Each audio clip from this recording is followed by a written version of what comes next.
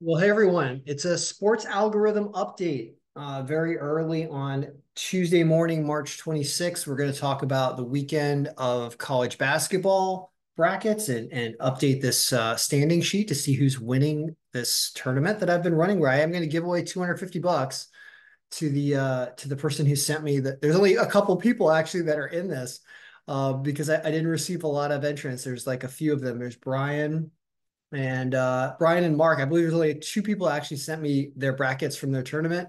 So one of you guys is winning 250 bucks, but we'll talk about really how this works and the standing sheets works. And if you're using a version of this file to run your own office pool, we'll get into how you can kind of analyze this and run some simulations in this video, go over that. So we'll do that. And we'll also talk about the MLB algorithm and uh, how did it do today? I haven't uh, gather the scores. We're going to gather the scores in this video and talk about what this algorithm is doing here. The I think it's the last day of spring training on Tuesday. So we're going to review Monday's games, which I've just set up, and we'll look at that. So let's get back to this. And there's another announcement. I'm going to kind of jump the gun here and make this announcement a little bit early. But uh, I had a, a really interesting idea, and I want to let everybody in on it that follows these videos. So I'm not gambling. For those of you who track, I have I have a gambling problem, so I've, I've stopped gambling even though I do all these algorithms. And I was thinking, well, is there any way that we can tie these algorithms and their results to something without having without potentially losing any money? Like, is there any way I can wager on this without risking any money? And there's a solution to that. There, there's an answer to that question. And so what I'm doing is I'm launching a crypto token. Okay. I'm creating a crypto token, which does not cost a lot of money to create. And I'm going to take the money from the sales of these algorithms. You purchase algorithms from me on kenbraverman.com. I'm going to take that money and add it to the liquidity pool of the token for those of you who don't speak crypto lingo, this is all kind of new to me as well, but I've been researching it recently. You're just basically adding some financial backing to one of these coins, which or tokens, which would basically have no real value anyway. It's just it's just code. It's just it's just a wallet full of tokens that you create. You can create them for almost nothing. But I'm going to add liquidity and real money. I'm going to put real money into crypto put the liquidity into the token. And then I'm also going to give tokens away to people that purchase algorithms. So while I'm going to own a huge chunk of them, I'm also going to give some away whenever you purchase an algorithm. So what you're going to get from me is not only an algorithm, but you're also going to get some of these coins. And I'm not going to, tokens, I should say. They're tokens, not coins. Um, I'm not going to tell you what the name is yet. And I'm not going to release any information yet. I want to give it only to people who purchase and, and subscribe to these algorithms. Uh, and then when when I actually launch it, I'll let everybody know ahead of time when I launch it and what the liquidity pool is going to be. And that will be a very interesting time because once you launch this cryptocurrency, while it really shouldn't have any value and it's kind of all just it's all just junk code basically but people are buying and selling these on real markets and this is the space where where fortunes are being made right now in the crypto industry. So I figured let's create a token. And on top of that, all the tokens that I own, or the, the huge percentage of the tokens that I own, I'm going to tie them back to the results of the algorithms. Meaning, every day I'm going to make a post and I'm going to say something like, the algorithm predicts that Connecticut is going to beat San Diego State in round three, the Sweet 16 of the college basketball, men's college basketball bracket. If Connecticut wins, I'm going to sell some of my tokens. If Connecticut loses, I'm going to burn some of my tokens, which means it's going to take them out of circulation and no one's going to buy them. It's going to reduce the number of available tokens that exist, which will have the generalized impact of increasing the value of the remaining tokens that you own.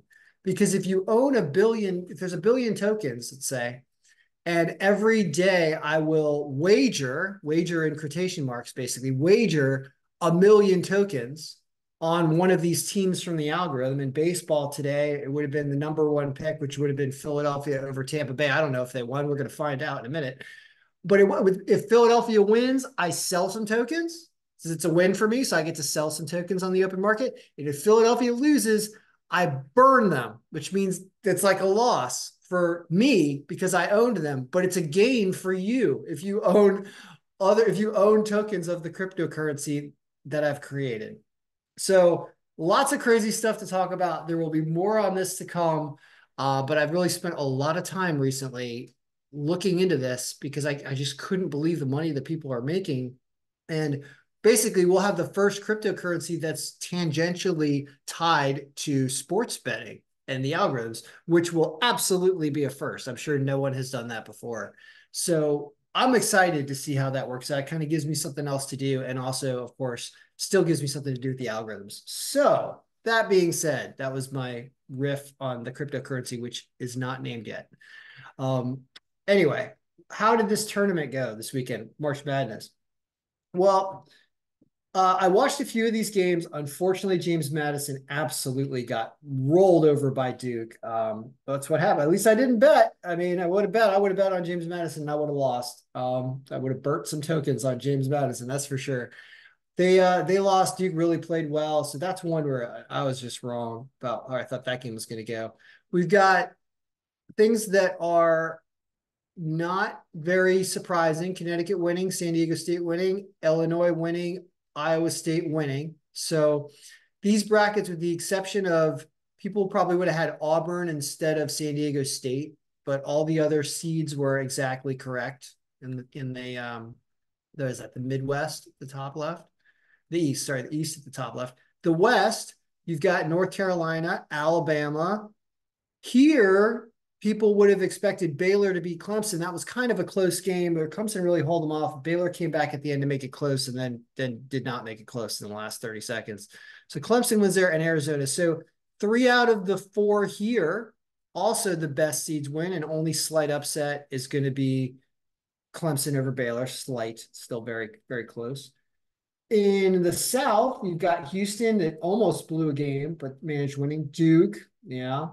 NC State that is uh that that's abnormal because they were an 11 seed and Marquette. So three out of four here as well are the favorites. And it's really only NC State that comes in as an underdog in that quadrant.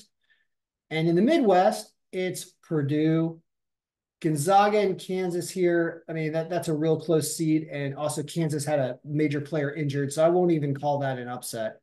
Uh, I think a lot of people probably had Gonzaga there. Creighton, and Tennessee. So this is also very reliable. It's amazing. There are no um, there are no exact brackets, I believe, or maybe I think there was two that existed on one of the platforms. As you can see, this is actually not that awful, except there were some updates in round or some upsets in round one that people did not have for sure, like Grand Canyon beating St. Mary's and uh what else was a big upset over here? There was Oregon was an upset. And Colorado was an upset. Oakland was the huge upset over Kentucky. NC State's an upset. James Madison is an upset, but not really if you've been paying attention to them. So I don't I don't know if there are any perfect brackets left. It's tough to get a perfect bracket, which is why it's never happened. So how do the standings look? Well, I refreshed the standings and we have, I guess, 45 entrants. Yeah, we have 45 entrants. And right now, Wes is winning this thing. He's up by two points, and he also has the most number of total points possible. Dawn is a close second. Then you've got some other people here Justin, Kate, Carrie, Greg, Jordan. Notice that the available points, the total points remaining, really favor people like Jordan and Greg over Carrie and Justin. But what I wanted to do is say, all right, if you're watching this and you're trying to say, well, where's the difference, you know, between Wes and Dawn's entries or Wes, Don, Greg, and Jordan? Let's try that. Let's try Wes. Let's look at just them, and I'll show you one of the other pivot tables and how you can compare this. So let's go with there's Wes, Dawn, Greg, and Jordan. Wes, Dawn, whoops, hold down control when you do this if you're not going to use this thing up here. Wes Dawn. Jordan, and Greg, right? Greg. So these four people that all have a good amount of points and have a lot of points possible remaining. Okay. So they're in good shape. Well, here are their here's all the teams over here and who has what. And this is kind of interesting to look at because what you start to see is well, where are there disparities between these teams? Like Jordan and Dawn both have Arizona going all the way. So the Arizona games don't matter much except for Wes and Greg. Wes is really rooting against Arizona because he's only got them in the next round. Um, other big ones, Connecticut. Wes and Greg both have Connecticut going all the way to the end, right? Um, yeah, they basically they have Connecticut, so they're they're really rooting for Connecticut and hoping Arizona loses, and of course, Jordan and Dawn are hoping Arizona wins and Connecticut loses. Uh, other ones that are deep here, Jordan has Gonzaga going all the way to this round. So Jordan is heavily rooting for Gonzaga to win. Gonzaga. Uh, Dawn is rooting for Marquette to win. Wes is rooting for Purdue to, to go pretty deep. And Greg is rooting for Tennessee to go pretty deep. So it's just a way of looking at, at you know, quickly kind of comparing everybody's uh, teams and who they want to have win it's just a really cool way of looking at it. It's really quick rather than having to look at everybody's single bracket. So that is the update right now. Wes, you're in the lead. Good job. So that's that's your college basketball update. We'll do another one this weekend. Now let's talk about baseball because uh, the baseball season is coming. I did sell an algorithm today. Thank you, Mohammed, for purchasing one. And uh, I expect to sell certainly a few more here. If you want to purchase a copy of this, you get emails from me every day from now until April 15th. However, I did not send an email today because I didn't get this done today. I ran into other issues and could not get this done today. Um, but I will send one. Uh, when I say today, I mean Monday. I wasn't able to send one for Monday, the 25th, but I will send one for Tuesday. But let's look at the results for Monday because I just prepared it. And we're going to talk about what all these things mean and, and looking at the results today. So Tampa Bay and Philadelphia. It looks like Tampa Bay won this game. So I would have burnt a million of my uh, cryptocurrency tokens today because I would have put the, the million on Philadelphia and they lost. They lost 6 3. Now, they had some pitchers who hadn't pitched in years. Jacob Waguespack hadn't pitched since 2011, and David Buchanan hadn't pitched since 2016. 2016. It's the last time he had available stats. So that's crazy. It's just why it's important to look at everything in this string of information. That, that actually really can't be a number one pick with a pitcher that hadn't pitched since 2016. That, that's just an important piece of information to know. Mets and Yankees. Looks like the Yankees won 3 nothing. Minnesota and the Brewers. Uh, no, the Braves. Minnesota and the Braves. The Braves won 4 nothing. Toronto and Pittsburgh. Obviously, yeah, okay, three to four. Pittsburgh, boy, we're having a rough day today. St. Louis and the Cubs. Another loss. Spring training for you. The Rockies, here's a win. Brewers win 10 to 1 and also put up a lot of points. As you can see, Dakota Hudson's ERA and uh, and also the lineup factor for Colorado was really light there. Boston and Texas. Boston wins 9 to 2. Angels and Dodgers. Angels win 6 nothing. Mariners and Padres. Mariners and Padres was 4 to 1 Mariners. Guardians lose 6 nothing to Arizona and the Giants beat the A's four to one. All right, so let's take a look at the day pivot and see what the total is for the day. It's a six and five day by win strength. And what you see is, you know, you lose that game with Philadelphia.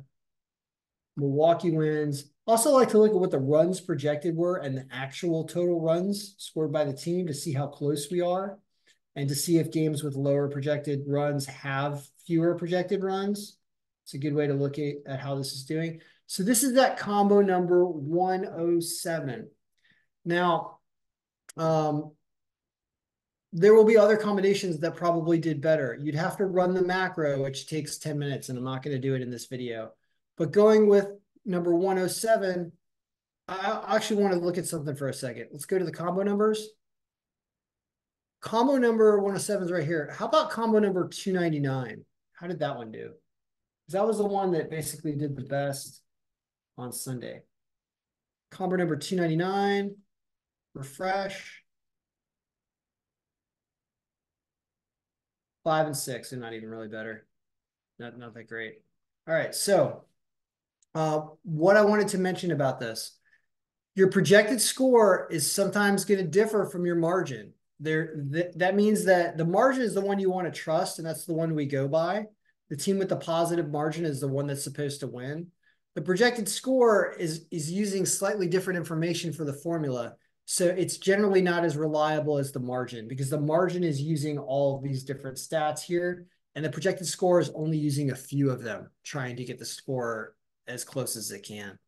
So that's why we look at win loss. You want to look at which team has the highest margin. And in, in this distribution, it was actually Milwaukee over Colorado. That's the number one pick. And they did put up a ton of runs. And yeah, this was a better combination string. But I'll do more videos on baseball as we go here and running the macro and seeing what our best distributions are because we're going to have a whole set of new stats coming in. And there's a lot to do here. So that's basically the update. And there will be benefits to purchasing algorithms from me, and they will be in the cryptocurrency token realm. And that's some crazy stuff that can happen there. Like I, I've seen videos and I understand what's going on there where you list this token and you start with a market value, a liquidity of like a thousand bucks. And by the end of the day, the thing's worth like a million dollars in liquidity. And I'm like, what? it's like, what?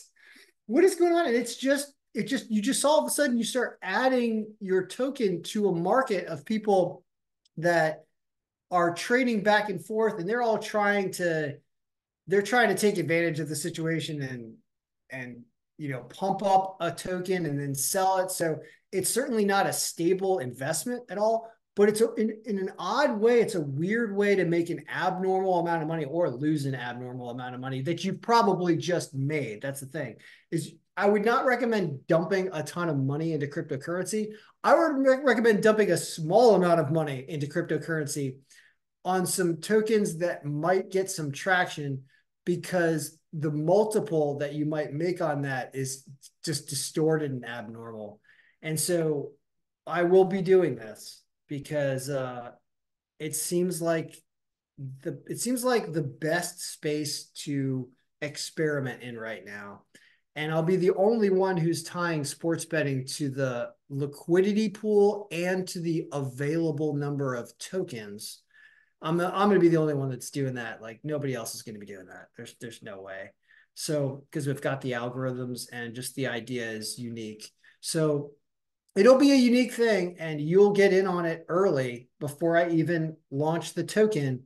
I'm going to take down everyone's information who wants in on this and I will send you all the tokens as soon as I mint all of them and we can watch and see what happens. I expect there to be crazy things that happen like right off the bat.